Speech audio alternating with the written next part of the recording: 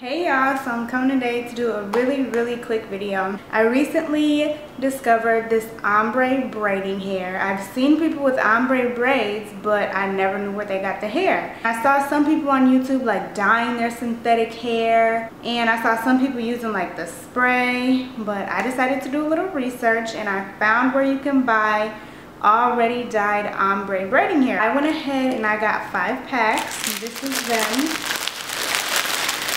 So it's a it's black to purple to blue.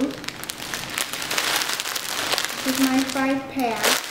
And this is how it looks. Black to this bright purple to blue. So pretty.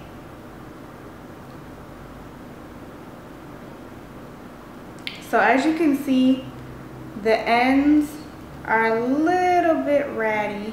It doesn't feel terrible, but I can see that they're a little frayed. But, and it does smell kind of like hair dye. And the ratty ends are kind of to be expected because they had to put some type of chemical in the hair to get it to color this way. Yeah, so this is just my really quick review of it.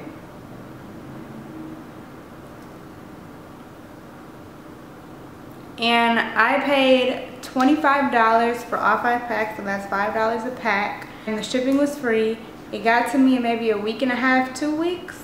It wasn't super fast, but it wasn't too long either. I got this hair from a vendor on AliExpress. I don't remember the name, but I'll leave a link down below to this exact hair. This is not the only color they have. They have so many colors. They have ombre starting from all the way up here, like without black. They have just one ombre with like maybe brown or red. They have so many colors, so you guys be sure to go check it out. Click the link down below and it'll take you to this hair, but click on their store. Actually, I'm gonna leave a link to their store down below too so that you can just click on their store and see all the different colors they have. The bundles are a little bit smaller than normal.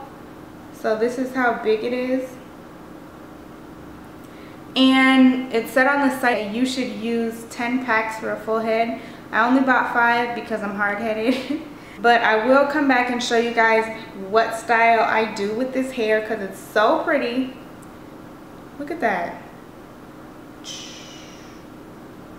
Yes. Yes. Okay.